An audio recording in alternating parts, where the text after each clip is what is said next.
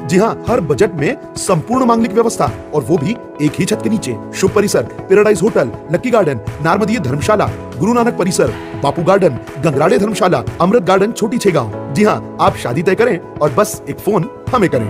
R N K catering and events Ritesh Kapoor और श्याम कपूर साथ ही पाए एक विशेष ऑफ़र जन्मदिन सगाई बीसी और छोटी पार्टियों के लिए शुभ परिसर और लक्की गार्डन में हॉल एकदम फ्री खंडवा रेलवे स्टेशन के प्लेटफॉर्म पर एक हादसा हुआ है। दरअसल एक यात्री ट्रेन के गेट पर बैठा हुआ था। तभी एक पेड़ से उसका पैर टकरा गया, जिसकी वजह से वो घायल हो गया। तत्काल उसे खंडवा के जिला अस्पताल पहुँचाया गया है। ट्रेन में लापरवाही पूर्वक सफ़र करने की वजह से ये हादसा हुआ है। खंडवा के जिला अस्पताल में घायल का उपचार चल रहा है। परिजन और घायल ने क्या कुछ कहा, सुनिए। सर ट्रेन से उतर रहा थे हम लोग।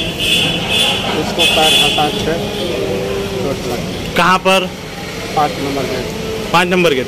कहाँ जा रहे थे? कहाँ जा रहे थे? मुंगासरा से हम लोग आ रहे थे। हम लोग जा, रहे थे हम लोग ये टिकट है?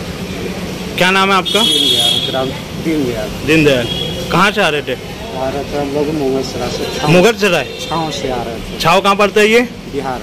बिहार से? बिहार से हम लोग आ रहे थे। हाँ। से गाड़ी किए हैं। कहाँ जा रहे थे? गाड़ी हम लोग जा रहे थे जब यहाँ पे सर मैं बैठा था ट्रेन के गेट पे मैं ध्यान नहीं दिया सर रगड़ा गया उसी में। कहाँ से आ रहा था? कहाँ जा रहा था?